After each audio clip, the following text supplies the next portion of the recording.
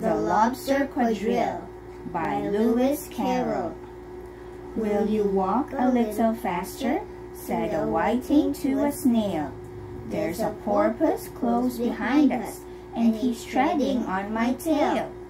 See how eagerly the lobsters and the turtles all advance. They are waiting on the shingle. Will you come and join the dance? Will you, won't you, will you, won't you, will you join the dance? Will you, won't you, will you, won't you, won't you join the dance? You can really have no notion how delightful it will be when they take us up and throw us with the lobsters out to sea. But the snail replied, Too far, too far, and gave a look askance said he thanked the whiting kindly, but he would not join the dance.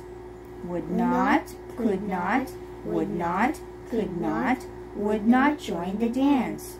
Would not, could not, would not, could not, could not join the dance.